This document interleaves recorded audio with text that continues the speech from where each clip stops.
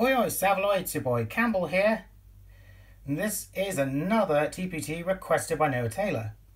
Here we have Marie and Toulouse from the Aristocats doing a TPT with Cat Chase, and they're disguised as a pregnant mother wearing Homer's moo and a mop head wig.